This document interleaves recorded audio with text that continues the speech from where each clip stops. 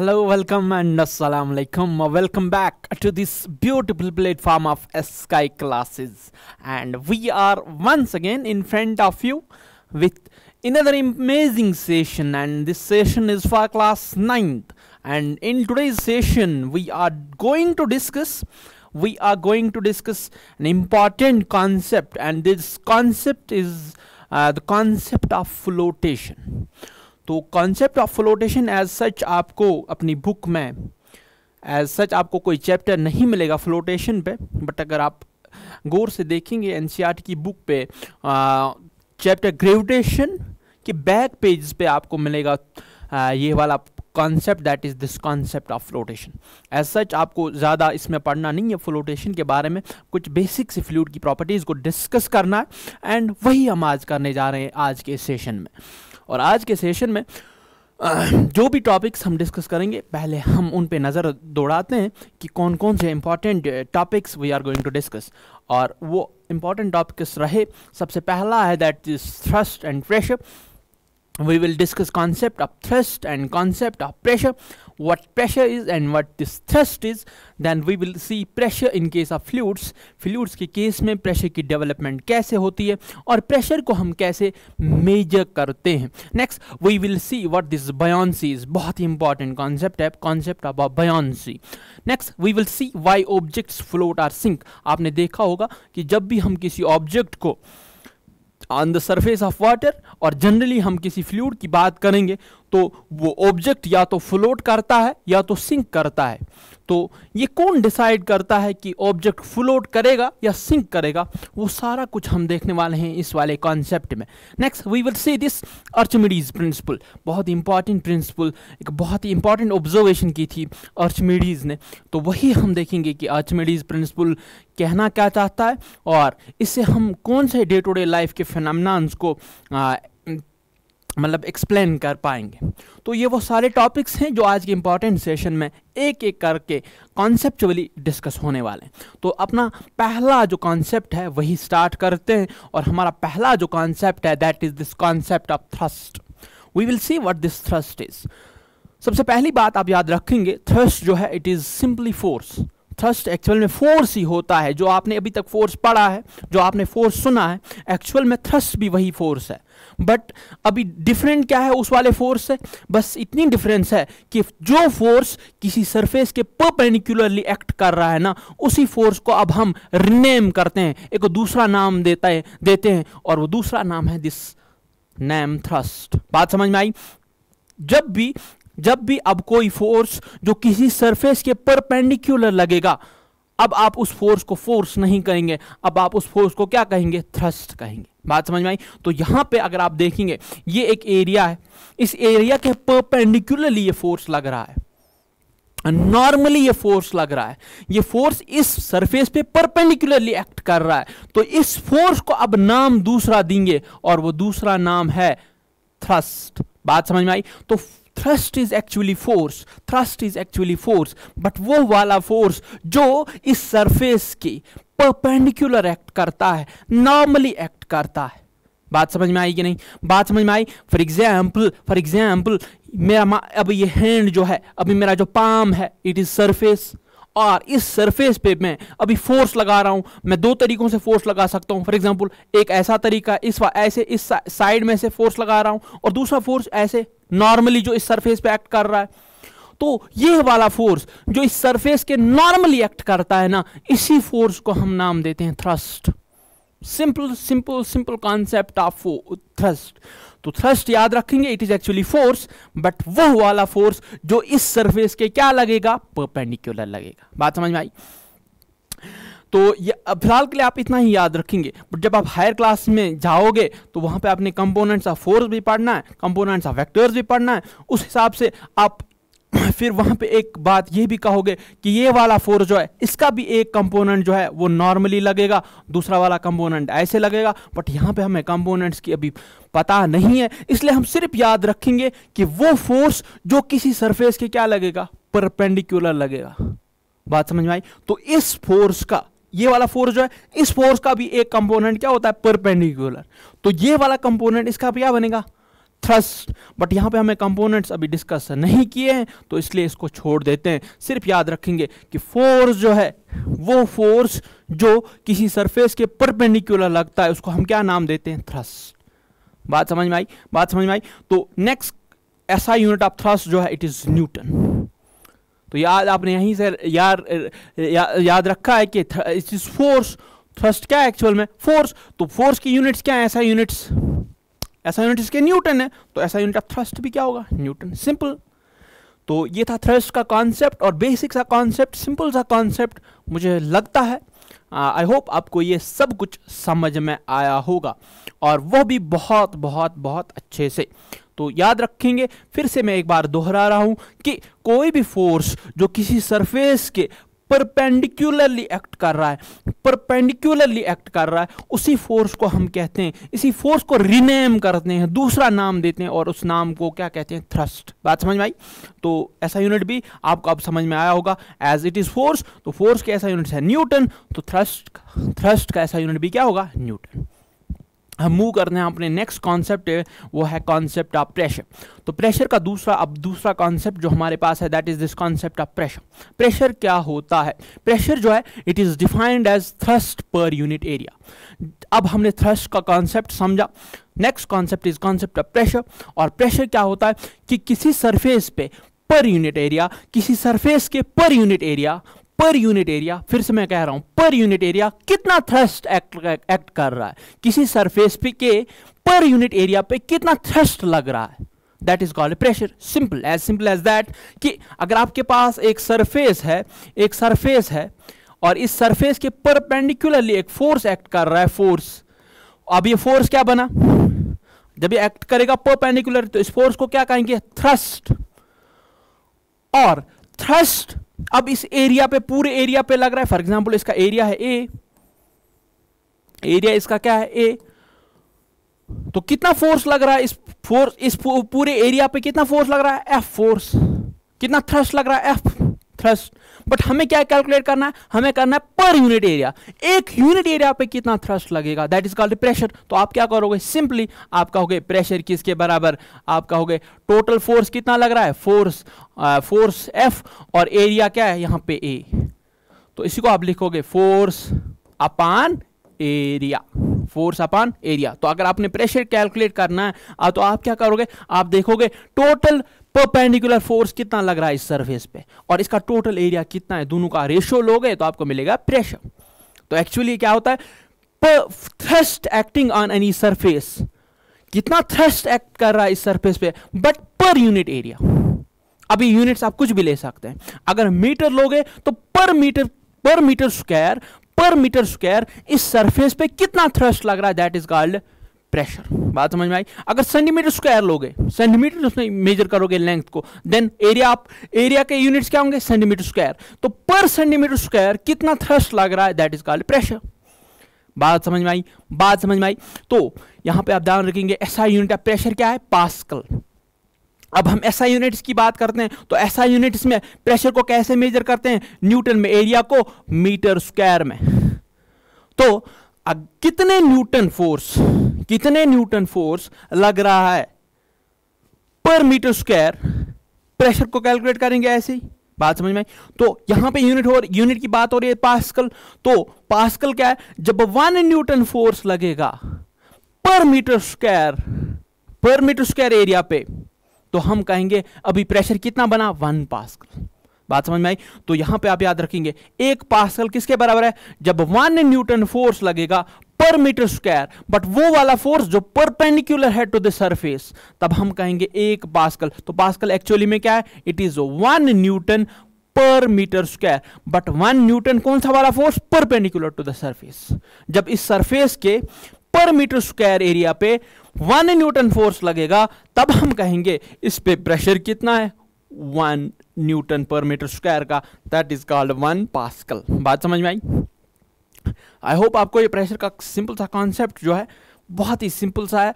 आपको ये समझ में आया होगा प्रेशर कैसे कैलकुलेट करना है? अगर आपको एरिया दिया गया है, आपको ये बोला गया है कि इस पर थ्रस्ट कितना लग रहा है थ्रस्ट कितना लग रहा है थ्रस्ट कितना लग रहा है तो आप प्रेशर को कैलकुलेट कर सकते हो। कैसे?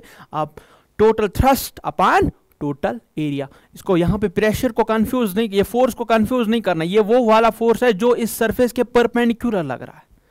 बात समझ में आई? अगर यहाँ पे एक और फोर्स भी एक्ट करता फॉर एग्ज़ाम्पल एफ़ वन ज़रा बोलो प्रेशर कितना होता है? प्रेशर फिर भी इतना ही होता, क्योंकि अभी हमें सिर्फ़ वो वाला फोर्स कॉन्सेंट्रेशन में लेना जो इसका परपेंडिकुलर लग रहा है। इस वाले फोर्स से प्रेशर नहीं बनेगा, क्योंकि डेफिनेशन में देखें pressure is defined as thrust per unit area thrust कौन सा फोर्स? वो वाला फोर्स जो इस सरफेस के परपेंडिकुलर लग रहा है। तो याद रखेंगे, जब भी आपने प्रेशर कैलकुलेट करना है तो आप क्या करोगे? आप ये जो फोर्स है, ये वही वाला फोर्स कंसिडरेशन में लोगे जो इस सरफेस के परपेंडिकुलर होगा। बात समझ में आई? तो पास्कल का ये यूनिट समझ में आया? आई होप आपको ये समझ में आया होगा। सिंपल जब हम यूनिट्स लेंगे एसआई यूनिट्स तो फोर्स को मेजर करोगे न्यूटन में। और एरिया को मीटर स्क्वायर में तो न्यूटन पर मीटर स्क्वायर को हम क्या कहेंगे? वन पास्कल बात समझ में आई? जब one newton force one metre square area पे लगेगा, हम कहते हैं, इस बॉडी पे अभी प्रेशर क्या है? वन पास्कल का प्रेशर है। प्रेशर जो है it is scalar quantity pressure क्या होती है? स्केलर क्वांटिटी स्केलर क्वांटिटीज वो क्वांटिटीज जिनका सिर्फ़ मैग्नीट्यूड होता है। और कभी कभी डायरेक्शन भी होती है बट जिन असल में डेफिनेशन जो है स्केलर्स की जो है इट इज़ एक्चुअली वो वाली क्वांटिटीज़ जिनका सिर्फ़ मैग्नीट्यूड है और दूसरी बात, वो वेक्टर एल्जबरा को फॉलो नहीं करते। वो वेक्टर एल्जबरा क्या है? You will be knowing about that in your class eleven यहाँ पे इतना याद रखेंगे कि जब वेक्टर्स को ऐड किया जाता है तो हमें उनकी डायरेक्शंस को भी देखना पड़ता है। बात समझ में आई? तो सिंपल प्रेशर जो है इट इज़ स्केलर क्वांटिटी याद रखेंगे कि ये क्या होती है? स्केलर क्वांटिटी तो नेक्स्ट कॉन्सेप्ट पे अब हम मूव करते हैं. Application of concept of pressure in our day to day life day to day life में आपने बहुत सारी चीज़ें देखी होंगी, जहाँ पे प्रेशर का कॉन्सेप्ट जो है अप्लाई किया जाता है. जैसे सबसे पहला जो है straps of bag are made wide आपका जो बैकपैक होता है या स्कूल बैग होता है, उसके जो है स्ट्रैप्स होते हैं, वो क्या होते हैं? वाइड क्यों? प्रेशर का कॉन्सेप्ट की सिंपल एप्लीकेशन जरा देखें कैसे। अगर मैं आपसे कहूँ प्रेशर किसके बराबर होता है? आप कहेंगे, सर फोर्स अपान एरिया या फोर्स नहीं, इसको हम कहेंगे थ्रस्ट अपान एरिया क्योंकि फोर्स नहीं है, ये जनरल फोर्स की बात नहीं हो रही, ये सिर्फ़ उस फोर्स की बात हो रही है, जो फोर्स किसी सरफेस के क्या लग रहा है परपेंडिकुलर तो आप कहेंगे, सर थ्रस्ट अपान एरिया मैं आपसे कहूँ, जरा बोलो, फिर प्रेशर को इंक्रीज या डिक्रीज कैसे किया जाए? आप कहोगे, सर, अगर इंक्रीज करना है तो दो तरीकों से इंक्रीज किया जा सकता है। एक तरीका है, एक तरीका है फोर्स को इंक्रीज करो। क्योंकि फोर्स फोर्स को इंक्रीज करोगे, ये प्रेशर खुद ब खुद इंक्रीज होगा। बात समझ में आई? है ना? फोर्स जो है इट इज़ डायरेक्टली प्रेशर जो है it is directly proportional to force जरा बोलो फोर्स को इंक्रीज करेंगे। तो रेशो जो है फोर्स अपन एरिया वो क्या होगा? इंक्रीज इन टर्न प्रेशर क्या होगा? इंक्रीज तो अगर आपने प्रेशर को इंक्रीज करना है फोर्स को इंक्रीज करोगे, या दूसरा तरीका है एरिया को डिक्रीज करोगे। एरिया को डिक्रीज करोगे एरिया बढ़ जाएगा, ये वाली क्वांटिटी डिक्रीज होगी। डिक्रीज होगी तो प्रेशर इन टर्न डिक्रीज होगा। प्रेशर इंक्रीज कर, डिक्रीज करने के तरीके आप कहेंगे, सर, फोर्स को डिक्रीज करो। सिंपल, फोर्स डिक्रीज होगा, प्रेशर डिक्रीज होगा। दूसरा तरीका, एरिया इंक्रीज करो।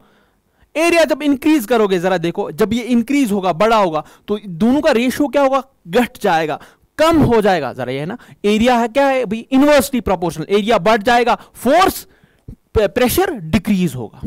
तो दो तरीके ये भी, दो तरीके इसके भी। इंक्रीज करना है फोर्स को इंक्रीज करो एरिया को डिक्रीज करो। डिक्रीज करना है फोर्स को डिक्रीज करो एरिया को इंक्रीज करो। सर अब इसका काम यहाँ पे क्या बैग्स में क्या? जरा देखो बैग जब आप बैक पैक लगाते हो तो आपके शोल्डर्स पे क्या आता है? प्रेशर आता है। क्यों प्रेशर आता है? क्योंकि आपके बैक पैक में, आपके बैक पैक में क्या होते हैं? बुक्स या कुछ सामान होगा। उस सामान की वजह से क्या होगा? वेट, उसका वेट होगा और वेट क्या होता है? फोर्स। तो वो फोर्स किस पे लगेगा? आपके शोल्डर्स पे। जब फोर्स आपके शोल्डर्स पे लगेगा, वो फोर्स एक्ट करता है perpendicularly to on your shoulders. तो क्या बनेगा? थ्रस्ट। अब थ्रस्ट बना। थ्रस्ट की वजह से क्या आएगा? प्रेशर। अब प्रेशर आया। तो अगर आपके शोल्डर्स पे ज़्यादा प्रेशर आएगा तो आप अनकंफर्टेबल महसूस करेंगे। तो क्या करते हैं हम? हमें इस प्रेशर को क्या करना है? डिक्रीज कैसे करेंगे? दो तरीके या तो फोर्स को डिक्रीज करो, या तो एरिया को इंक्रीज करो। अब अगर आपके बैग में ज़रूरी सामान है, तब आप इस फोर्स को डिक्रीज नहीं, क्योंकि आप सामान बाहर नहीं निकाल सकते। तो एक ही तरीका है, वो तरीका बच रहा है एरिया को इंक्रीज करने का। एरिया इंक्रीज करोगे प्रेशर खुद ब खुद डिक्रीज होगा। अब कैसे हम एरिया को इंक्रीज करेंगे? हम इन स्ट्रैप्स को क्या बनाएँगे? वाइड वाइड होने से एरिया बढ़ जाएगा। एरिया बढ़ जाएगा। तो फोर्स अब फोर्स अब बहुत ज़्यादा सरफेस पे लगेगा। फोर्स बहुत ज़्यादा सरफेस पे लगेगा तो प्रेशर डिक्रीज होगा। तो यह है सिंपल सी एप्लीकेशन पहली एप्लीकेशन जो कॉन्सेप्ट ऑफ़ प्रेशर पे है। बात समझ में आई? Next knives have sharp edge अगर आपने नाइफ देखी होगी या सीजर देखी होगी तो सीजर सीजर जो है ना उसके एज जो होता है ना या नाइफ जो होती है ना उसका एज जो होता है वो बहुत ही क्या होता है बहुत ही बारीक होता है। उसका एज जो होता है बहुत ज़्यादा शा, शार्प होता है। क्यों ऐसा क्यों? सिंपल सी कॉन्सेप्ट सिंपल से application of concept of pressure फिर से वही बात प्रेशर को वहाँ पे जब हमें किसी चीज़ को काटना है तो प्रेशर क्या होना चाहिए? ज़्यादा। प्रेशर क्या होना चाहिए? ज़्यादा। ज़्यादा होने का तरीका जरा देखो फोर्स इंक्रीज एरिया को डिक्रीज करो। फोर्स अब मैंने कुछ लगाया फोर्स नाइफ पे। ठीक? बात, अब एज शार्प होने की वजह से क्या होगा? एरिया डिक्रीज होगा। अब फोर्स लग रहा है बहुत कम एरिया पे तो प्रेशर क्या होगा? इंक्रीज प्रेशर इंक्रीज होगा तो कोई चीज़ जो हमें काटनी होगी, वो वो आसानी से कट जाएगी। तो तभी होता है नाइफ जो होता है, उसके एज क्या होते हैं? बहुत ज़्यादा sharp next is base of construction is wide अगर आपको पहले दो कॉन्सेप्ट समझ में आए होंगे तो ये तो आपको आसानी से समझ में आना चाहिए। कंस्ट्रक्शन जो है, उसकी बेस जो होती है, वो बहुत ज़्यादा वाइड होती है। सिंपल क्यों? आप कहेंगे, सर, हम यहाँ पे एक कंस्ट्रक्शन को दिखाते हैं। ये सिंपल सी कंस्ट्रक्शन है। ठीक?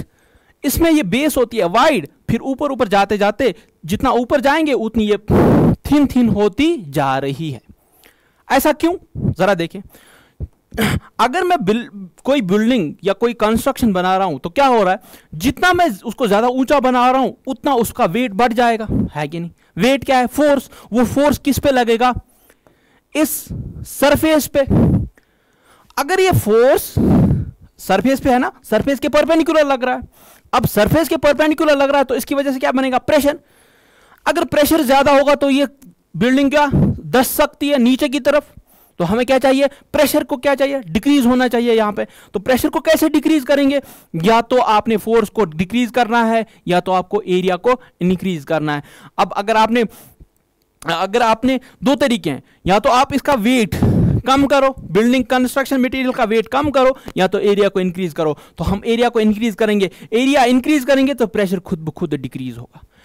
एरिया इंक्रीज करेंगे प्रेशर खुद ब खुद डिक्रीज होगा। तभी कंस्ट्रक्शन का जो बेस होती है, बहुत वाइड होती है। नील जो है, उनके इनके क्या होते हैं? पॉइंटेड टिप्स ये भी सिंपल एप्लीकेशन पॉइंटेड टिप की वजह से क्या होगा? एरिया कम होगा। एरिया कम होगा, जो हम फोर्स लगाएँगे, वो कम एरिया पे एक्ट करेगा। कम एरिया पे एक्ट करेगा प्रेशर इंक्रीज होगा। प्रेशर इंक्रीज होगा तो नेल जो है, वो आसानी से जहाँ पे हमें लगाना होगा फॉर एग्ज़ाम्पल वाल में उसको लगाना होगा तो वो इजीली वाल के थ्रू जाएगा। तो ये सिंपल से कुछ application of concept of pressure है। ठीक? आई होप आपको ये समझ में आया होगा। Next we will see what this density is important concept है कॉन्सेप्ट ऑफ़ डेंसिटी अब डेंसिटी क्या होती है? डेंसिटी जो है it is defined as amount of mass contained per unit volume of the substance अगर आपके पास कोई सब्सटेंस है, उसके एक यूनिट वॉल्यूम में उस सब्सटेंस का कितना मास पहुँच जाता है तो हम कहेंगे it is density of the substance it is density of the substance for example आपके पास आपके पास एक क्यूबाइडल शेपड बॉक्स है, या कोई कंटेनर है क्यूबाइडल शेपड ठीक? इसकी यूनिट्स हम लेंगे मतलब अभी हम ऐसा यूनिट्स की, की बात करेंगे तो इसका कुछ वॉल्यूम होगा। फॉर एग्ज़ाम्पल इसका वॉल्यूम है कुछ। और इसमें हमने क्या भरा? वाटर इसमें हमने क्या भरा? वाटर अब ध्यान देंगे यहाँ पे।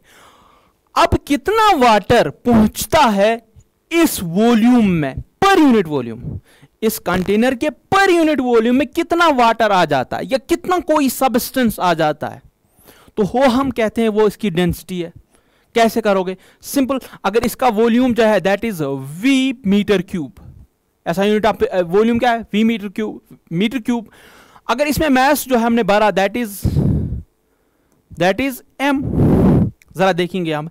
इसमें हमने टोटल मास कितना भरा? मैस एम कितने वॉल्यूम में? वी मीटर क्यूब में। तो एक मीटर क्यूब में कितना आएगा? आप कहेंगे, सर, उसी को कहते हैं डेंसिटी डेंसिटी क्या होगी? मैस पर यूनिट वॉल्यूम एक यूनिट वॉल्यूम में कितना मास आ जाता है किसी सबस्टेंस का? That is called density of the substance बात समझ में आएगी नहीं? बात समझ में आएगी नहीं? तो डेंसिटी को कैसे कैलकुलेट करोगे? डेंसिटी बराबर होती है। डेंसिटी बराबर होती है। डेंसिटी बराबर होती है। आप कहेंगे डेंसिटी किसके बराबर? डेंसिटी जो है डेंसिटी इज़ कैसे कैलकुलेट करोगे? आप देखोगे, सीधे मैस कितना है और कितने वॉल्यूम में पहुँच गया है। तो आपको मिलेगा density of the substance density को डिनोट किया जाता है रो से। तो रो बराबर होगा मास पर यूनिट वॉल्यूम मास पर यूनिट वॉल्यूम ठीक, यहाँ पे हमने कुछ लिया है। वाटर की डेंसिटी को देखा that is ten power three K G per metre cube अगर आप वाटर की डेंसिटी देखोगे फोर डिग्री सेल्सियस पे तो वो होती है ten raise power three K G per metre cube तो इसका क्या मतलब? कि अगर फोर डिग्री सेल्सियस पे आप देखोगे तो वाटर का वाटर थाउज़ेंड के जी वाटर पहुँच जाएगा वन मीटर क्यूब क्यूबाइड में। आपके पास अगर क्यूबाइड शेबल कोई कंटेनर है, और उसका इसका जो वॉल्यूम है that is one metre cube तो उस वन मीटर क्यूब में ten raise power three K G यानी थाउज़ेंड के जी ऑफ़ वाटर पहुँच जाएँगे ये बात समझ में आई कि नहीं?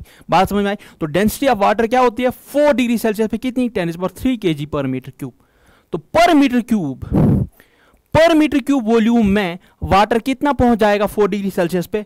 Ten raise power three K G यानी थाउज़ेंड के जीज तो उसी को कहते हैं डेंसिटी ऑफ़ द वाटर बात समझिए तो कितना मास किसी सब्सटेंस का पहुंचेगा per unit volume that is called the density और इसको डिनोट किया जाता है रो से।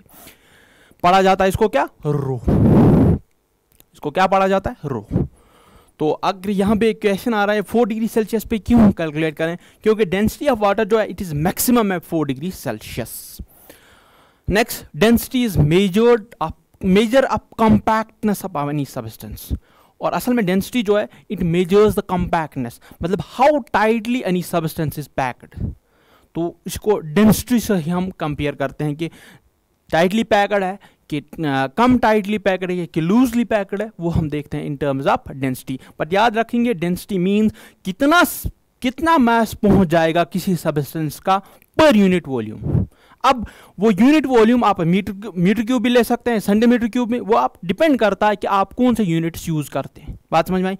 अगर हम ऐसा यूनिट्स की बात करें तो पर मीटर क्यूब वॉल्यूम कितना सबस्टेंस का मास पहुँच जाता है? That is called the density of that substance बात समझ में आई? आई होप आपको ये डेंसिटी का कॉन्सेप्ट समझ में आया होगा। तो कैसे कैलकुलेट करेंगे डेंसिटी अगर आपको बोला जाएगा कि इतना मास है और पहुँच गया है, इतने वॉल्यूम में वी वॉल्यूम में बोलो इसकी सब्सटेंस की डेंसिटी क्या है? सिंपली आप करोगे टोटल मास कितना दिया गया है और टोटल वॉल्यूम कितना गया, दिया गया है, दोनों का रेशो निकालेगा, वही होगा उस सब्सटेंस की डेंसिटी नेक्स्ट रिलेटिव डेंसिटी ये भी बहुत इंपॉर्टेंट कॉन्सेप्ट है रिलेटिव डेंसिटी का. रिलेटिव डेंसिटी क्या होती है? अब हम डेंसिटी जो है कंपेयर करते हैं किसी और सब्सटेंस के साथ. एक सब्सटेंस की डेंसिटी किसी और सब्सटेंस के साथ जब कंपेयर करेंगे तो हम कहेंगे, ये उस सब्सटेंस की रिलेटिव डेंसिटी हुई। बट किसके साथ कंपेयर करते हैं? हम करते हैं density of water at four degree Celsius से कंपेयर फोर डिग्री सेल्सियस पे जो वाटर है, उसकी डेंसिटी देखेंगे हम पहले कितनी है, और फिर किसी दूसरे सब्सटेंस की डेंसिटी देखेंगे फोर डिग्री सेल्सियस पे। फिर हम देखेंगे वो सब्सटेंस की डेंसिटी कितनी है? Relative to the density of water at four degree Celsius तो हम कहेंगे इसकी रिलेटिव डेंसिटी है। एग्ज़ाम्पल के तौर पर आपके पास कोई सब्सटेंस ए है। आप इसकी डेंसिटी डेंसिटी कैलकुलेट करोगे। बट किस टेम्परेचर पे? फोर डिग्री सेल्सियस पे। और इसी टेम्परेचर पे आप वाटर की डेंसिटी को क्या करोगे? मेजर करोगे। अभी हमने देखा डेंसिटी ऑफ़ वाटर क्या है? डेंसिटी ऑफ़ वाटर क्या थी? फोर डिग्री सेल्सियस पे आप कहेंगे sir ten raise power three K G per metre cube अब फॉर एग्ज़ाम्पल इस सबस्टेंस की डेंसिटी निकली फोर डिग्री सेल्सियस पे two into ten raise power three K G per metre cube मैं अगर आपसे कहूँ, बोलो, इस सब्सटेंस की डेंसिटी कितनी है in comparison to the water तो आप कहेंगे it is two times that of water तो यही कहेंगे कि relative density of substance A is two times water यहाँ सीधे कहेंगे relative density of substance A is two तो खुद ब खुद आपको पता चलेगा कि इसको कंपेयर किसके साथ किया जाता है? वाटर के साथ। बात समझ में आई? तो जब भी आपको रिलेटिव डेंसिटी का कॉन्सेप्ट आएगा, इसका मतलब कि अगर आपको कहा जाएगा कि relative density of substance is two तो आप कहेंगे कि इसकी असल में डेंसिटी जो है it is two times that of water at four degree Celsius तो रिलेटिव डेंसिटी का कॉन्सेप्ट यही है। हम अभी कंपेयर करते हैं density of substance with density of water at four degree Celsius बात समझ में आई? तो रिलेटिव डेंसिटी को मेजर कैसे किया जाता है? रिलेटिव डेंसिटी को मेजर कैसे किया जाता है? रिलेटिव डेंसिटी को मेजर कैसे किया जाता है? आप कहेंगे density of substance at four degree Celsius at four degree Celsius eight four degree Celsius ratio लेना density of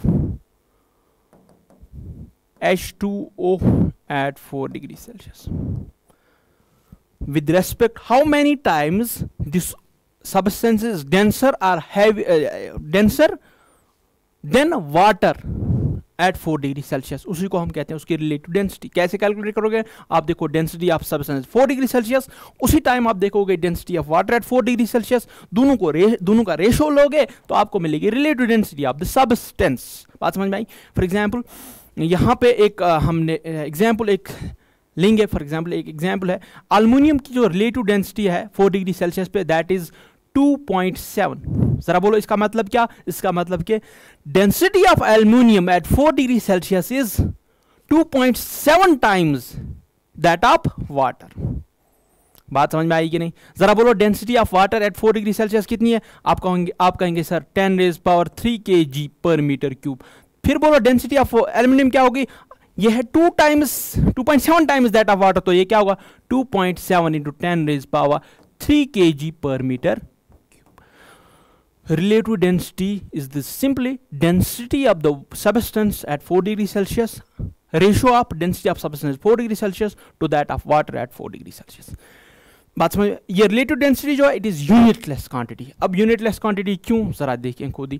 density of substance को कैसे मेजर करोगे? K G per metre cube में। Density of it is ratio of two densities तो इस density का unit cancel इस density के यूनिट के साथ कैंसिल हो जाएगा कैंसिल आउट हो जाएगा तो टोटल रिलेटिव डेंसिटी का यूनिट क्या होगा? इट विल बी यूनिटलेस जरा देखें, ये होगा ना मीटर के G per metre cube K G per metre cube, दोनों कैंसल आउट हो जाएँगे। तो रिलेटिव डेंसिटी का यूनिट क्या होगा? इट इज़ यूनिट लेस तो वही बात है relative density tells how many times given substance is denser than water at four degree Celsius relative density हमें बताती है कि हाउ मेनी टाइम्स कोई सबस्टेंस है denser than water at four degree Celsius तो आई होप आपको ये समझ अगर आपको रिलेटिव डेंसिटी दी गई होगी किसी भी सबस्टेंस की, आपको बोला जाएगा, बोलो इसकी एक्चुअल डेंसिटी कितनी है फोर डिग्री सेल्सियस पे। तो आप क्या करोगे?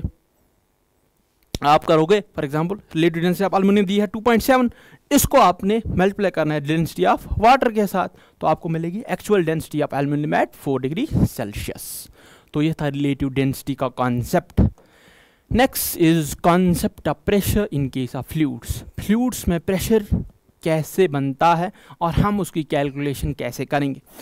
तो फ्लूड्स पहले हम देखेंगे फ्लूड्स का प्रेशर होता क्या है। फ्लूड्स का प्रेशर जो है, अभी हम सिर्फ़ उन फ्लूड्स की बात कर रहे हैं जो स्टैटिक है। स्टैटिक मीन्स जो अभी चल नहीं रहे फ्लो नहीं कर रहे। हम कह रहे हैं मतलब अभी जो फ्लूड है, ये प्रेजेंट है किसी, ये किसमें प्रेजेंट है? ये किसी कंटेनर में प्रेजेंट है।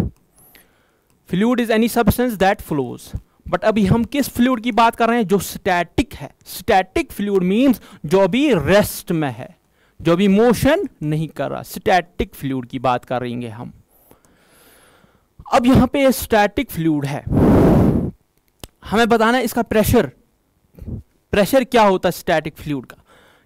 तो फ्लूड का स्टैटिक प्रेशर जो है, या प्रेशर जो है इन जनरल फ्लूड का प्रेशर क्या होता है?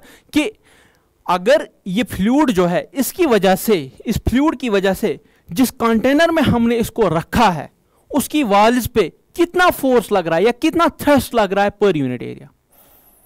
बात समझ में आई कि नहीं? सिंपल, इस फ्लूड की वजह से, इस फ्लूड की वजह से, क्योंकि स्टैटिक है स्टैटिक मीन्स ये अभी रुका हुआ, रुका, रुकेगा तब फ्लूड जब हम इसको किसी कंटेनर में रखेंगे।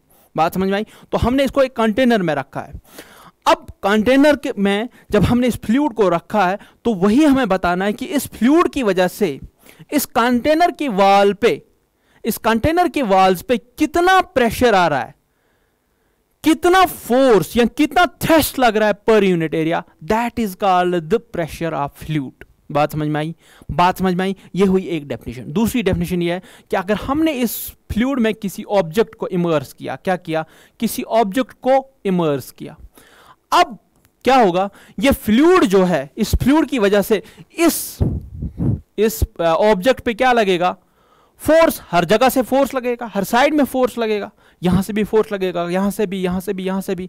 ये वाला फोर्स भी थ्रस्ट ये वाला भी थ्रस्ट थ्रस्ट सारे फोर्सेस क्या बनेंगे? थ्रस्ट इन थ्रस्ट की वजह से, ये टोटल थ्रस्ट कितना लग रहा है इस ऑब्जेक्ट पे per unit area per unit area कितना थ्रस्ट लग रहा है इस ऑब्जेक्ट पे? बट ये थ्रस्ट किसकी वजह से आ रहा है? फ्लूड की वजह से। तो हम कहेंगे it is the pressure of fluid दो तरीके हैं डिफाइन करने के प्रेशर ऑफ़ फ्लूड के।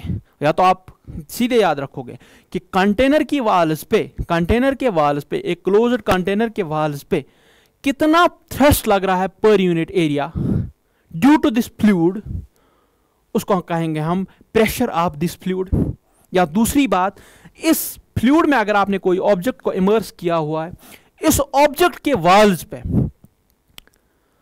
थ्रस्ट पर यूनिट एरिया कितना लगेगा ड्यू टू फ्लूड वो भी, उसको भी हम कहेंगे it is pressure due to this fluid बात समझ में आई? तो वही हमने यहाँ पे लिखा है कि is the measurement of the thrust per unit area that acts on an object in fluid कितना थ्रस्ट लग रहा है किसी ऑब्जेक्ट पे?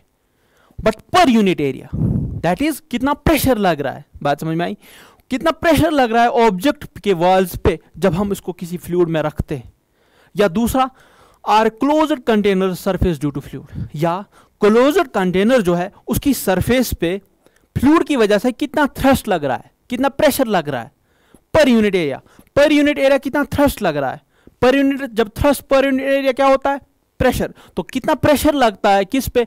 इस फ्लूड की इस कंटेनर की सरफेस पे ड्यू टू फ्लूड वो भी हम कहते हैं, इसको भी हम क्या कहते हैं प्रेशर ड्यू टू फ्लूड दो तरीके हैं।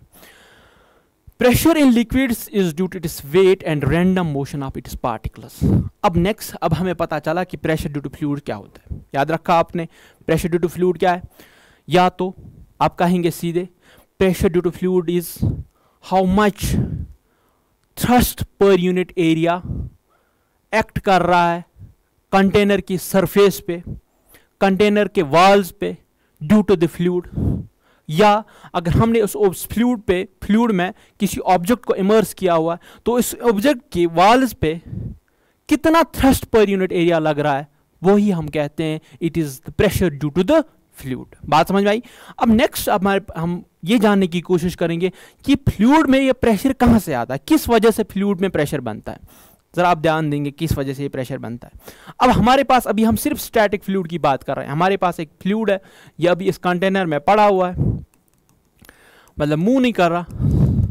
ज़रा बोलो तो अब दो वजहों से, दो रीजन की वजह से इस फ्लूड में प्रेशर डेवलप होता है। एक एक तो ये ये फ्लूड जो है, ये फ्लूड इसका कुछ मैस होगा, है ना?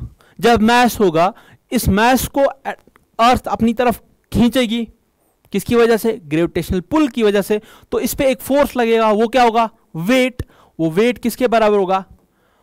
M g. तो वेट की वजह से, इस फ्लूड की वेट की वजह से क्या लगेगा?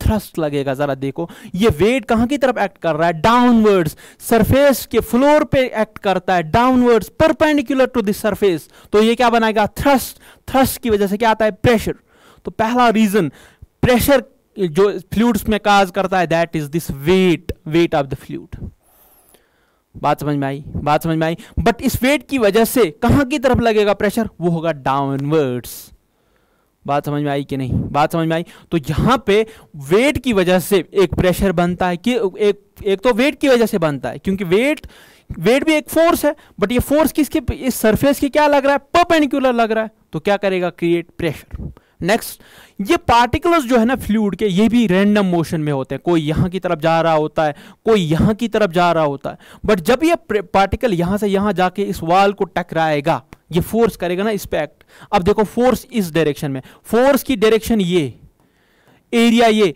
ये फोर्स इस पे एक्ट परपेंडिकुलर हो रहा है ना तो इस ये भी अब थ्रस्ट बनेगा ना। थ्रस्ट की वजह से क्या आता है? प्रेशर तो दो रीजन हैं pressure in case of fluids एक तो है वेट की वजह से और दूसरा है रेंडम मोशन ऑफ़ पार्टिकल्स की वजह से. बात समझ में आई कि नहीं? अब यहाँ पे ध्यान देंगे। जब फ्लूड स्टैटिक होता है ना, जब फ्लूड मोशन नहीं कर रहा होता, अपनी कहीं कंटेनर में पड़ा होता है, तब ये वाला प्रेशर जो है ना, ये ड्यू टू मोशन वाला प्रेशर जो है ना, ये नेग्लिजिबल हो जाता क्या हो जाता है? नेग्लिजिबल कब? जब फ्लूड रेस्ट में होता है, तब ये वाला प्रेशर जो है, ये बहुत कम होता है और इसलिए हम इसको क्या मानते हैं? नेग्लिजिबल क्या मानते हैं? नेग्लिजिबल बट ये वाला फोर्स जो है, ये वाला फोर्स की वजह से जो प्रेशर बनता है वेट की वजह से जो प्रेशर बनता है, ये ये डोमिनेंट होता है। तो हम फ्लूड जब स्टैटिक फ्लूड की बात होगी तो उसमें सिर्फ़ हम बात करते हैं pressure due to it is weight ये वाला नेग्लिजिबल होता है। इसको हम नेग्लिजिबल कंसिडर करते हैं। तो in case of static fluids in of general fluids जब जनरल फ्लूड्स की बात करेंगे तो दो वजहों से आता है प्रेशर एक तो वेट की वजह से और दूसरा आता है रेंडम मोशन ऑफ़ पार्टिकल्स की वजह से मॉलिक्यूल्स की वजह से। बट जब फ्लूड स्टैटिक होगा, तब ये वाला नेग्लिजिबल है और सिर्फ़ प्रेशर आएगा ड्यू टू इट वेट तो वही हमने यहाँ पे लिखा है। Pressure in case of fluid it is weight और random motion of it is particles बात समझ में आई? बात समझ में आई? Next pressure exerted by static fluid अभी स्टैटिक फ्लूड की बात हो रही है। किस पे किस पे डिपेंड करता है? Height of the fluid from the reference point height of the fluid from the reference point fluid fluid की कितनी हाइट है फ्रॉम द रेफरेंस पॉइंट वो हम अभी जानने की कोशिश करेंगे रेफरेंस पॉइंट क्या होता है।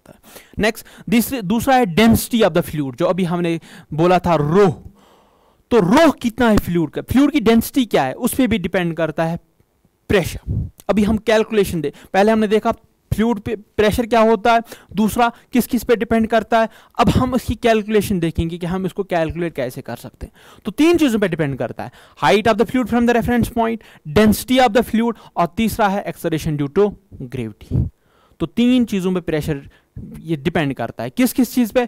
एक तो हाइट पे एच पे, रोह पे और जी पे।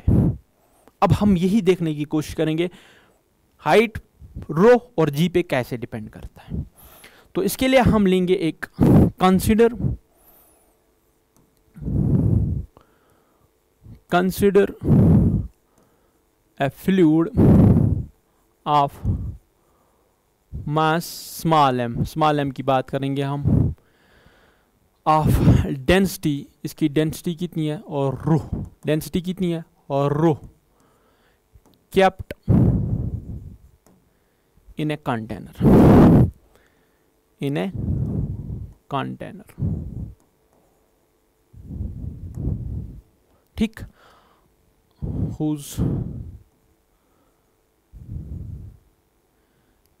area of base is a. हमने एक फ्लूड लिया, हम एक फ्लूड लेंगे। यहाँ पे इसको बनाते हैं। हम एक फ्लूड लेंगे। कंटेनर में। कंटेनर में एक फ्लूड लेंगे।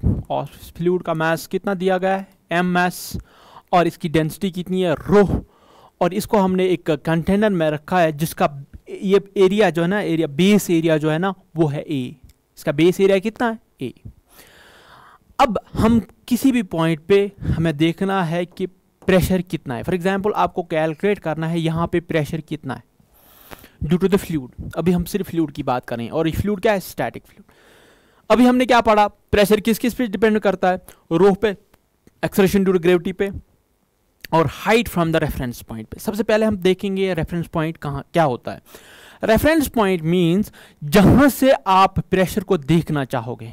मतलब मैं आपसे कहूँ, यहाँ पे आपने अब बहुत बार सुना होगा न्यूज़ में कि या कहीं पे देखा होगा कि प्रेशर यहाँ इस जगह पे प्रेशर जो है, वो इतना है फ्रॉम द सी लेवल बात समझ में आई? तो यहाँ पे ये कंपेयर करना पड़ता है कि हमें देखना पड़ता है कि हम कहाँ से मेजर कर रहे हैं प्रेशर को। क्योंकि इस पॉइंट पे प्रेशर बहुत सारे हो सकते हैं। अगर मैं यहाँ से देखूँ प्रेशर कुछ और हो सकता है। अगर मैं इससे ऊपर हाइट पे देखूँ, यहाँ पे प्रेशर कुछ और हो सकता है। बात समझ में आई? तो प्रेशर जो है ये हमें पहले डिफाइन करना पड़ता है कि हम कहाँ से प्रेशर को मेजर करेंगे। जहाँ से हम प्रेशर को मेजर करते हैं ना, उसको कहते हैं रेफरेंस पॉइंट अब यहाँ पे हमने, ज़्यादातर हम लेते हैं कि यहाँ पे सरफेस की जो अपर लेयर है ना, यहाँ से हम प्रेशर को मेजर करेंगे। तो ये बना हमारी रेफरेंस पॉइंट ये क्या बना, ये वाला पॉइंट जो है, ये वाली लाइन जो है, ये क्या बनी हमें रेफरेंस पॉइंट मतलब हम यहाँ से प्रेशर को देख रहे हैं, कितना है यहाँ पे। तो यहाँ से, जहाँ पे हमने रेफरेंस को चुना है, इस जगह से, जहाँ पे हमें प्रेशर कैलकुलेट करना है, इस वाली डिस्टेंस को ही हम हाइट कहते हैं। ध्यान देना, ये height general height of this container नहीं होती। ये हाइट क्या है? Height of the fluid from height of the fluid from this reference line जरा बोलो रेफरेंस लाइन से इस फ्लूड की हाइट कितनी है? यहाँ पे एच बात समझ में आई? अगर कहीं नीचे पे, यहाँ पे देखते, यहाँ पे देखते, मैं आपको को बोलता, बोलो ये वाली हाइट आप कहते एच टू तो जहाँ पे आपको प्रेशर देखना है, पहले आप देखेंगे, उससे पहले आप सेट करेंगे कोई रेफरेंस पॉइंट फॉर एग्ज़ाम्पल यहाँ पे रेफरेंस लाइन ये है। इस, यहाँ से हम देखेंगे कि प्रेशर कितना है यहाँ पे। बात समझ में आई? यहाँ से हम देखेंगे प्रेशर कितना है यहाँ पे। बात समझ में आई? तो ये बनी रेफरेंस लाइन और distance of the point of observation of pressure from this reference line को हम नाम देते हैं height of the fluid general height की बात नहीं हो रही। ठीक? अब आपको बोलना है कि इस जगह पे प्रेशर कितना है। जरा बोलो प्रेशर किसकी वजह से होता है? स्टैटिक फ्लूड में आप कहेंगे, सर प्रेशर होता है वेट की वजह से। तो यहाँ पे वेट ऐसे डाउनवर्ड्स बट ये वेट किस ये वेट मतना होगा, सारे फ्लूड का वेट क्योंकि जो इसके नीचे फ्लूड है उसकी वजह से मतना बनेगा यहाँ पे यहाँ पे मतना बनेगा प्रेशर प्रेशर किस फ्लूड की वजह से बनेगा? जो इस पॉइंट के एबो है।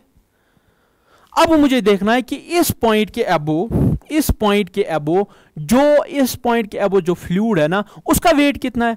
उसका मैस कितना है? फॉर एग्ज़ाम्पल मैं मैं लेता हूँ, उसका मैस है एम और फिर वेट कितना होगा? आप कहेंगे वेट होगा एम इंटू जी बट मुझे ये एम नहीं पता। मुझे क्या पता? मुझे पता सिर्फ़ इस सारे वॉल्यूम इस सारे लिक्विड या फ्लूड का मैस मुझे पता है। बट एक क्वांटिटी मुझे पता है, जरा बोलो क्या? मुझे पता है रोह किसके बराबर? मास पर यूनिट वॉल्यूम के बराबर। तो मैं यहाँ से कर सकता हूँ मैस किसके बराबर? और रोह इंटू वॉल्यूम के बराबर। यही मैं यहाँ पे भी अप्लाई करूँगा। यही मैं यहाँ पे भी अप्लाई करूँगा। जरा बोलो, इस इस सारे फ्लूड की डेंसिटी कितनी है? रोह तो मैं इसको लिख सकता हूँ रोह किसके बराबर? मुझे देखना ये मैस कितना, किस मैस अपान वॉल्यूम के बराबर। ठीक? बट वॉल्यूम अभी कब, देखो वॉल्यूम कौन सा है अभी? ये वाला वॉल्यूम मैं इसको लिख सकता हूँ रोह कभी किसके बराबर होगा? मैस वॉल्यूम के बारे में लिख सकता हूँ। एक तो ये area a into height h तो रो किसके बराबर आया? रो किसके बराबर आया? रो आया m divided by a h तो यहाँ से आप एम को कैलकुलेट कर सकते हैं। एम कितने आएगा? एम कितना आएगा? रो ए एच एम कितना आया? रो एच जरा बोलो डब्ल्यू कितना होगा? रो ए एच जी बात समझ में आई कि नहीं? यही वेट की वजह से क्या बनेगा? प्रेशर जरा बोलो प्रेशर किसके बराबर होता है? थ्रस्ट अपॉन एरिया प्रेशर किसके बराबर? प्रेशर किसके बराबर? आप कहेंगे प्रेशर बराबर थ्रस्ट अपॉन एरिया जरा बोलो यहाँ पे थ्रस्ट कितना? रो ए एच जी एरिया कितना? ए ए और ए कैंसल तो कितना आएगा? रो जी एच जो मैं कह रहा था कि प्रेशर किस पे डिपेंड करता है? Density acceleration due to gravity and height of the point from the reference applying reference point तो तीन चीज़ों पर डिपेंड करता है प्रेशर आई होप आपको ये बात समझ में आई होगी, हमने इसको कैलकुलेशन कैसे देखा? कैलकुलेशन में आपने देखना है कि इस पॉइंट पे, इस पॉइंट पे प्रेशर कितना है। जरा बोलो, इस पॉइंट पे प्रेशर कैसे आएगा? जो इसके एबो जो फ्लूड है, उसी की वजह से आएगा। बट हमें उस फ्लूड का पता नहीं क्या मैस कितना है, उसका हमने कंसिडर किया एम बट हमें इस फ्लूड की डेंसिटी पता है कितनी है? रो तो रो किसके बराबर होती है? मैस अपान वॉल्यूम के बराबर। यहाँ से मैस किसके बराबर आएगा हमें? मैस आएगा रो ए एच के बराबर। आप कहेंगे, सर, वॉल्यूम कैसे लिया आपने ए इंटू एच जरा बोलो, इसका एरिया कितना है? बेस एरिया कितना है? ए हाइट कितनी है एच एरिया इंटू लेंथ कितनी एरिया इंटू हाइट क्या होता है? वॉल्यूम तो यहाँ आएगा ए इंटू एच तो इसी को हमने एम एम के पहले क्या आएगा? रो ए एच वो हमने यहाँ पे लिखा। जरा बोलो वेट किसके बराबर? एम इंटू जी के बराबर। वेट किसके बराबर? एम इंटू जी के बराबर। तो वेट किसके बराबर आएगा? रो ए एच जी जरा बोलो प्रेशर किसके बराबर? थ्रस्ट अपान एरिया यहाँ पे थ्रस्ट का काम कौन करेगा? वेट तो वेट अपान एरिया एरिया और एरिया कैंसल हमें क्या मिला? रो जी एच वही हम कह रहे थे कि, वही हम कह रहे थे, वही हम कह रहे थे कि प्रेशर किस किस चीज़ पे डिपेंड करता है? डेंसिटी ऑफ़ द लिक्विड पे। जी जी क्या है? Acceleration due to gravity h क्या है? Height of the fluid pressure exerted by fluids in rest is same at all points if they are at same height. अब यह next बात। जो pressure exert करता ना फ्लूड जो रेस्ट में होता है स्टैटिक फ्लूड की बात हो रही है, उसके वो सेम होता है ऑल पॉइंट्स पे। बट किन से, किन पॉइंट्स पे? किन पॉइंट्स पे सेम होता है? जो पॉइंट्स सेम हाइट पे होंगे। जो सेम हाइट पे होंगे। जरा बोलो सेम हाइट पे होने का मतलब इस रेफरेंस पॉइंट इस रेफरेंस लाइन से जो सारे, जरा देखो, इस रेफरेंस पॉइंट से, ये सारे पॉइंट्स पे हाइट सेम है कि नहीं? हाइट सेम है कि नहीं? तो रो जी सेम होगा कि नहीं? प्रेशर सेम होगा कि नहीं? तो यही बात कही जा रही है कि pressure exerted by fluids in rest जो फ्लूड स्टैटिक स्टेट में होगा उसके प्रे, उसका प्रेशर जो होगा वो होगा सेम किन पॉइंट्स पे? जो पॉइंट्स होंगे एट द सेम हाइट जो points at at the same height होंगे। जो points from this reference line same point पे होंगे उन पे प्रेशर सेम होगा। सर आप बोलो क्यों होगा? रो भी सेम इस लिक्विड की रो डेंसिटी जो मतना चेंज होगी तो रो भी same acceleration due to gravity भी सेम तो हाइट भी सेम हाइट भी सेम तो प्रेशर भी सेम बात समझ में आई? Next Pressure exerted in any confined mass of fluid travels undiminished in all directions. अब ये बहुत ही इंपॉर्टेंट बात यहाँ पे भी हो रही है। अब प्रेशर जो लिक्विड्स में होता है ना, ये अनडिमिनिश्ड ट्रैवल करता है। अगर आप फ्लूड के किसी भी पार्ट में, किसी भी जगह पे प्रेशर कुछ भी प्रेशर लगाओगे ना, ये प्रेशर जो यहाँ पे आप लगा रहे हो या यहाँ पे लगा रहे हो, ये इस फ्लूड के हर एक कोने में पहुँच जाएगा। फ्लूड के हर एक कोने में पहुँच जाएगा और अम अनडिमिनिशड जाएगा। अनडिमिनिशड मींस मतलब इसमें कोई वेरिएशन नहीं आएगी। फॉर एग्ज़ाम्पल मैं यहाँ पे खुद से अब प्रेशर पी इस पे एग्जर्ट कर रहा हूँ। ये प्रेशर पी जो है, ये हर एक फ्लूड के हर एक जगह पे महसूस हो जाएगा। और इतना ही फॉर एग्ज़ाम्पल अगर मैं यहाँ पे देखूँ, ये प्रेशर पी यहाँ पे भी लगेगा, यहाँ पे भी लगेगा, यहाँ पे भी लगेगा अनडिमिनिशड लगेगा। बात समझ में आई? तो वही कहा जा रहा है कि pressure exerted by any confined mass of fluid travels undiminished in all direction. हर किसी डायरेक्शन में जा, जाता है pressure due to fluids fluids में अगर किसी भी जगह पे आप प्रेशर एप्लीकेशन प्रेशर को अप्लाई करोगे, वो प्रेशर जो है फ्लूड के हर एक कोने में पहुँच जाएगा अनडिमिनिश्ड तो ये थे कुछ फ्लूड की बेसिक सी प्रॉपर्टीज़ और यहाँ पे आपने ये देखा कि प्रेशर किसके बराबर? रो जी एच के बराबर. वही हम कह रहे थे. Height of the fluid density of the fluid acceleration due to gravity. Next is buoyancy अब बयांसी भी बहुत ही इंपॉर्टेंट है। बयांसी क्या होती है? Is a property of a liquid to push the immersed object in upward direction is known as buoyancy हर किसी fluid की एक प्रॉपर्टी होती है कि अगर आप इसमें किसी ऑब्जेक्ट को डालना चाहोगे ना तो ये फ्लूड उसको अपवर्ड्स पुश करता है। अपवर्ड की तरफ़ फोर्स लगा रहा है। फॉर एग्ज़ाम्पल आपने एक वाटर का बकेट लिया, अब उसमें कोई चीज़ डाल, कोई भी ऑब्जेक्ट डालना चाहोगे तो क्या करें? वाटर जो प्रेजेंट है ना बकेट में, वो इस जो भी ऑब्जेक्ट उसमें जाना चाहता है ना, उस पर ऊपर की तरफ़ एक फोर्स लगा रहा है। इसी फिनमिना आप जो ये फोर्स लगा रहे हैं ना, इसी फिनमिना को कहा जाता है बयान से इसी को क्या कहा जाता है? बयान से और बयान से आपने डे टू डे लाइफ में देखी होगी। अगर आपने देखा होगा वेल से जब पानी निकालते हैं तो बाकेट जो है, जब तक वो वाटर के अंदर इमर्सिव स्टेट में होता है ना, तब तक वो हमें हैवी फील नहीं होता। उसका वेट ही हमें कुछ नहीं लग रहा। बट जो ही वो बाहर आता ना तो हमें उसका वेट फील हो जाता है। ऐसा क्यों? ऐसा इसलिए क्योंकि ये प्रॉपर्टी ऑफ़ बयांसी की वजह से हो रहा है। तो बयांसी क्या है? It's a property of fluid जिसकी वजह से फ्लूड जो है, हर किसी ऑब्जेक्ट पे, जो इसमें जाना चाहता है, उस पर ऊपर की तरफ़ फोर्स लगा रहा है। और उस फोर्स को हम कहते हैं बयाट फोर्स या अपथ्रस्ट जो फ्लूड अब फोर्स इस बॉडी पे लगा रहा है, जो उसमें जाना चाहती है जो बॉडी जाना चाहती है फ्लूड में, उस पर फ्लूड अपवर्ड्स एक फोर्स लगा रहा है। इस प्रॉपर्टी को कहते हैं बयांसी और जो फोर्स यहाँ पे लग रहा है ना, उसको कहते हैं बयांट फोर्स या कहते हैं अप थ्रस्ट बात समझ में आई? अब ये बयांसी का रीजन क्या है? बयांसी क्यों लगेगी किसी बॉडी पे? बयांसी क्यों लगेगी किसी बॉडी पे? ये बयांसी जो है, असल में ये आता है प्रेशर डिफरेंस की वजह से। ज़्यादातर लोग ये समझते हैं कि वेट की वजह से, वेट की वजह से फ्लूड पे डाउनवर्ड्स प्रेशर लगता है। वेट असल में हम कहते हैं कि ये फ्लूड है। ये फ्लूड है, इसमें जब मैंने किसी ऑब्जेक्ट को पुट किया ऑब्जेक्ट पुट किया तो इसका वेट होगा, ये वेट डाउनवर्ड्स और इसके रिएक्शन में यहाँ पे लगेगा अप थ्रस्ट टोटली गलत बात। ये वेट की वजह से वेट किसकी वजह से फोर्स लग रहा है यहाँ पे? अर्थ की वजह से। तो इसका रिएक्शन किस पे आएगा? अर्थ पे आएगा। न कि फ्लूड पे, बात समझ में आई? तो जरा बोलो, इस बॉडी पे ये वेट की वेट किसकी वजह से लग रहा है? ये फोर्स किस अर्थ की वजह से लग रहा है? तो ये बॉडी अपना फोर्स किस पे लगाएगी वापस?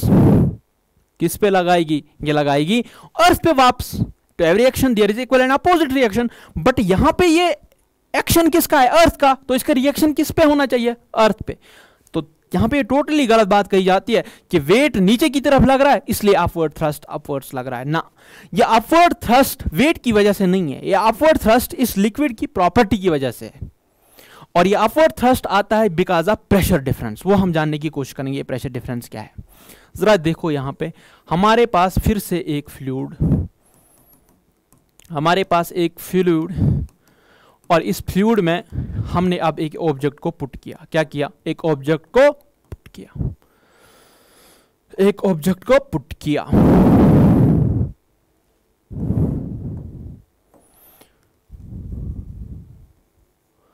अब देखेंगे यहाँ पे।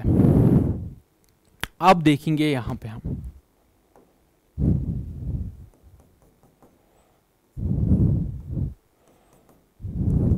हमने क्या किया? इसमें पुट एक ऑब्जेक्ट को।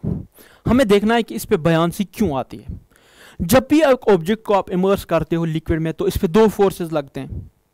दो फोर्सेज लगते हैं। एक फोर्स जो है, वो अर्थ की वजह से वो कहाँ की एक्ट करेगा? वेट की वजह से वो होगा एम और फ्लूड इस पे अपवर्ड्स फोर्स लगा रहा है। कौन सा फोर्स जो अभी हमने बोला? क्या force buoyant force buoyant force या जिसको हम क्या कहते हैं? अपथ्रस्ट अब इस बॉडी पे दो फोर्सेस लग रहे हैं। एक वेट ये अर्थ की वजह से, और दूसरा किसकी वजह से? फ्लूड की वजह से। बात समझ में आई? और ये वेट ये वेट की वजह से बर्नार्ड फोर्स नहीं आ रहा। क्योंकि वेट जो है, ये अर्थ की वजह से तो इसका रिएक्शन भी अर्थ पे आना चाहिए। बात समझ में आई? तो यहाँ पे ये बर्नार्ड फोर्स किसकी वजह से? लिक्विड की वजह से। अब यही हमें देखना है कि हाँ ये बर्नार्ड फोर्स इस बॉडी पे लगता क्यों है? अभी हमने कैलकुलेशन दी। अगर हम कहेंगे, अगर हम यहाँ पे देखेंगे फॉर एग्ज़ाम्पल इस ये हमने मानी रेफरेंस लाइन ये रेफरेंस लाइन से ऑब्जेक्ट के हायर हायर जो एबो पार्ट है मतलब टॉप तक जो डिस्टेंस है, उसको हम मानेंगे एच वन और जो बॉटम तक डिस्टेंस है, उसको हम मानेंगे एच टू यहाँ पे दो डिस्टेंसेस हैं। एक डिस्टेंस जो ऑब्जेक्ट से रेफरेंस लाइन से ऑब्जेक्ट के टॉप तक और दूसरा रेफरेंस लाइन से ऑब्जेक्ट के बॉटम तक। अगर मैं आपसे कहूँ, बोलो फ्लूड की वजह से यहाँ पे इस लाइन पे प्रेशर कितना होगा? अभी हमने कैलकुलेट किया, आप कहेंगे, प्रेशर ऑन टॉप, इसको मैं कहूँगा, वो किसके बराबर होगा? Rho, g, h one. जरा बोलो, बॉटम पे कितना होगा? आप कहेंगे, बॉटम पे होगा, रो, जी, एच टू। ज़रा बोलो यार।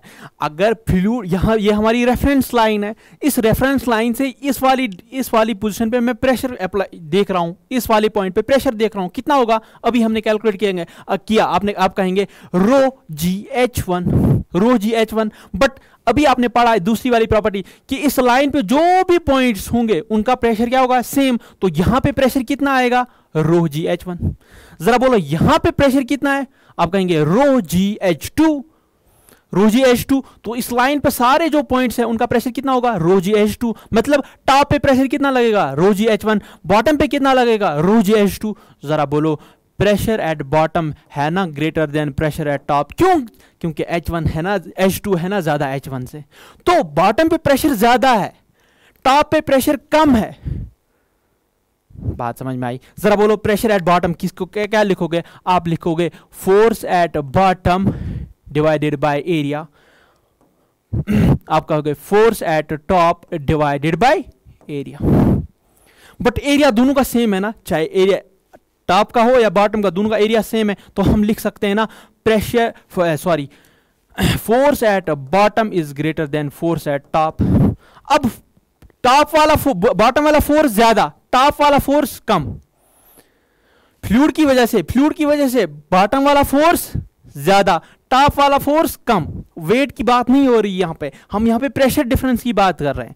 प्रेशर डिफरेंस प्रेशर डिफरेंस की वजह से क्या होगा? Pressure at bottom is greater than pressure at top जरा बोलो प्रेशर प्रेशर एट बॉटम क्या कहेंगे आप? Force at bottom divide by area या thrust at bottom divide by area thrust at top divide by area but दोनों area same है तो क्या होगा? फोर्स एट या थ्रस्ट एट बॉटम या इसको मैं लिखूँगा। इसको मैं लिखूँगा। इसको हम लिख सकते हैं। यहाँ पे हम लिखेंगे।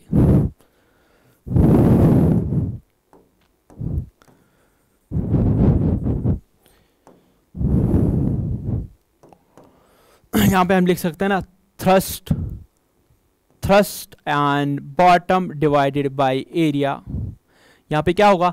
Thrust at top divided by area but area और एरिया कैंसल तो क्या होगा? Thrust at bottom is greater than thrust at top तो टॉप पे प्रेशर फोर्स कम है थ्रस्ट कम है बॉटम पे ज़्यादा है तो ऑब्जेक्ट कहाँ की तरफ़ चला जाएगा? जाएगा ना ऑफवर्ड्स बात समझ में आई? तो एक्चुअल में एक्चुअल में ये जो प्रेशर डिफरेंस की वजह से ही थ्रस्ट आता है. बायड फोर्स के क्यों आता है? इस ऑब्जेक्ट पे बायड फोर्स क्यों आएगा? क्योंकि इसके बॉटम पे और इसके टॉप पे जो है ना प्रेशर जो लग रहा है ना, वो डिफरेंट है। टॉप पे कम होता है और बॉटम पे ज़्यादा। बॉटम पे जब प्रेशर ज़्यादा है टॉप पे कम है तो ये कहाँ की तरफ़ जाएगा? ऊपर की तरफ़। तो थ्रस्ट किसकी वजह से आता है? It is because of the pressure difference वही हमने यहाँ पे देखा। फिर से एक बार देखेंगे। यहाँ तक की डिस्टेंस एच वन तो यहाँ पे प्रेशर कितना होगा? यहाँ वाले पॉइंट पे प्रेशर कितना आप कहेंगे रो जी एच वन यहाँ पे कितना होगा? Rho g h two but साथ में हमने दूसरी प्रॉपर्टी भी पढ़ी कि इस लाइन पे जो भी पार्टिकल आएगा, जो भी पॉइंट आएगा, उस पर प्रेशर क्या होगा? सेम तो यहाँ पर भी प्रेशर यही होगा ना रो जी एच वन यहाँ पर क्या होगा? Rho g h two but rho pressure at bottom जो है greater than pressure at top होगा। क्यों होगा?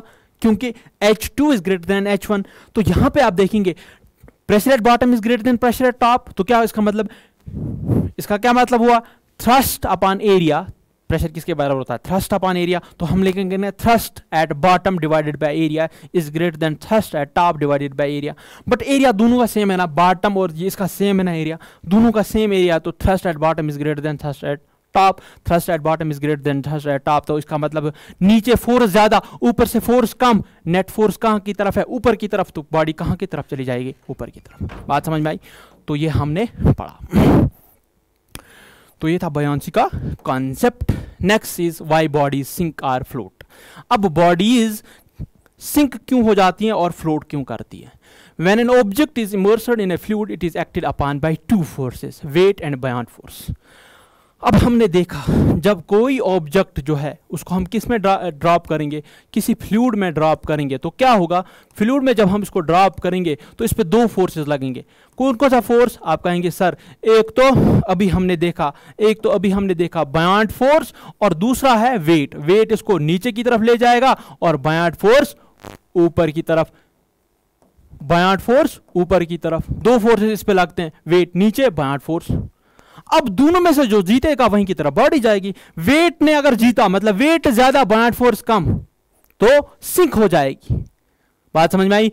वेट कम बयाट फोर्स ज़्यादा तो सरफेस पे तैरेगी। तीन केसेस बनते हैं। अगर weight is greater than buoyant force, weight is equal to buoyant force weight is less than buoyant force तीन केसेस बनते हैं। Weight is greater than buoyant force तो वेट ज़्यादा बयाट फोर्स कम तो बॉडी क्या होगी? सिंक दूसरा है weight is less than weight is less than buoyant force मतलब बयाट फोर्स ज़्यादा वेट कम तो body will float but on the surface float on the surface weight जब इक्वल होगा वेट जब इक्वल होगा, तब बॉडी फ्लोट करेगी बट इमर्सड स्टेट में। फ्लोट्स इन इमर्सड स्टेट तीन है यहाँ पे। जब बॉडी वेट ज़्यादा होगा बॉयंट फोर्स कम तो सिंक वेट कम वेट कम होगा बॉयंट फोर्स ज़्यादा तो फ्लोट करेगी बट ऑन द सरफेस जब weight is equal to the buoyant force the body float करेगी बट इमर्स होके फ्लोट करेगी। तो ये तीन केस आप याद रखेंगे। इसको डेंसिटी की वाइज भी देखा जा सकता है तो डेंसिटी वाइज भी आप देख सकते हैं इसको। अगर डेंसिटी जो है density of body is greater than density of fluid तब बॉडी विल सिंक अगर density of body is less than density of fluid the body will float on surface of liquid या सीधे हम कहेंगे fluid on the surface of fluid तीसरा है density of body is equal to density of fluid तो body with float floats but in immersed state but in immersed state तो ये आप ती, तीन चीज़ें याद रखेंगे। या तो बयान फोर्स वाइज आप याद रखेंगे या आप डेंसिटी वाइज याद रखेंगे डेंसिटी अगर बॉडी की ज़्यादा है देन लिक्विड या फ्लूड तो सिंक हो जाएगी। अगर डेंसिटी ऑफ़ बॉडी जो है, वो लेस है फ्लूड से, तब फ्लोट करेगी but on the surface of the fluid अगर दोनों इक्वल हैं तो फ्लोट करेगी बट इन इमर्सड स्टेट तो ये आप याद रखेंगे। वही हमने यहाँ पे लिखा लिखा है कि बॉडी कब फ्लोट होगी और कब सिंक होगी। नेक्स्ट इज़ अर्चमिडीज प्रिंसिपल बहुत इंपॉर्टेंट प्रिंसिपल है अर्चमिडीज का प्रिंसिपल अर्चमिडीज क्या कहता है कि जब जब हम किसी बॉडी या ऑब्जेक्ट को इमर्स करेंगे किसी लिक्विड में या किसी फ्लूड में पार्शली या फुल पार्शली भी आप उसको इमर्स कर सकते हैं या फुल जितना आप चाहोगे उतनी आप उसमें मतलब जितना आप चाहोगे, अगर आप पूरा उसको डुबाना चाहोगे तो पूरा भी डुबा सकते हैं, और पार्शली डुबाना चाहोगे तो उतना भी कर सकते हैं। बट इंपॉर्टेंट ये नहीं है कि आपने उसको कितना पानी में पार्शली इमर्स किया या फुली इमर्स किया, वो इंपॉर्टेंट नहीं है। इंपॉर्टेंट ये है कि जब आप किसी बॉडी को इमर्स कर रहे हो, किसी फ्लूड में पार्शली या फुली तो वो एक्सपीरियंस करता है अपवर्ड थ्रस्ट वही हमने अभी देखा, जब हम किसी बॉडी को फ्लूड में डालते हैं तो वो क्या करता है? उस पर क्या आता है? अपवर्ड थ्रस्ट तो उस पर आएगा अपवर्ड थ्रस्ट या बयाट फोर्स वो बयाट फोर्स जो उस बॉडी पे आएगा ना, वो होगा बराबर, उसका मैग्नीट्यूड होगा बराबर equal to the weight of the fluid displaced तो किसके बराबर होगा? Equal to the weight of the fluid displaced मतलब जितना फ्लूड वहाँ से डिस्प्लेस होगा ना अपनी जगह से डिस्प्लेस होगा ना, जो उसका वेट होगा, उसी के बराबर बयाट फोर्स होगा। इसको समझने की कोशिश करते हैं what this is for example आपके पास एक बीकर है, इसमें अभी वाटर जो है, वो फुल भरा हुआ है। मतलब अप टू द ब्रिम भरा हुआ है। ठीक? इसमें वाटर या कोई सब फ्लूड यहाँ से आपने एक बॉडी इसमें इमर्स करनी है। बट जो ही आप बॉडी इसको इमर्स करोगे तो क्या होगा? आस्ता, आहिस्ता आहिस्ता ये वाटर की लेवल क्या? ऊपर चली जाएगी और यहाँ से फ्लूड गिरना स्टार्ट होगा। अब आपने इसको क्या किया? कुछ मतलब आपने इसको पार्शली इमर्स किया या फुल इमर्स किया? तो इस पर क्या आएगा? बयाट फोर्स आपको बताना कितना बयाट फोर्स है। तो जितना लिक्विड यहाँ से आप गिरेगा ना बाहर, उसका जो वेट होगा, उसका जो वेट होगा, वही बराबर होगा अपवर्ड थ्रस्ट के। अपवर्ड थ्रस्ट या बयाट फोर्स के। ये याद रखना। क्या कि जब किसी बॉडी को हम इमर्स करते हैं किसी फ्लूड में तो वहाँ पे क्या होगा? ये फ्लूड जो है, ये डिस्प्लेस होगा, यहाँ तो ये बाहर गिरेगा। कितना, जो बाहर ये गिरा ना, ये फ्लूड उसका कितना वेट है, उतना ही इस बॉडी पे लगेगा अप थ्रस्ट ये बात समझ में आई कि नहीं? यही कहता है, कौन सा, यही क्या, कौन सा, क्या कहता है? अर्चमिडीज प्रिंसिपल सर, अगर अप टू ब्रिम नहीं हुआ, अब, अगर, अब फिल हमने नहीं किया अप टू द ब्रिम हमने यहीं तक ये किया फ्लूड को यहीं तक रखा। अगर हम अब करेंगे, इसको डुबोएँगे, इसमें इमर्स करेंगे बॉडी में, अब हमें कैसे पता चलेगा वेट कितना है? तो यहाँ से क्या होगा, जब इसको आप इमर्स करोगे तो लिक्विड की हाइट बढ़ेगी ना। लिक्विड की हाइट बढ़ेगी ना। लिक्विड की हाइट बढ़ेगी। लिक्विड की हाइट बढ़ेगी तो आप वहाँ से निकाल सकते हो फिर वेट आपने ये देखना, ये कितना है?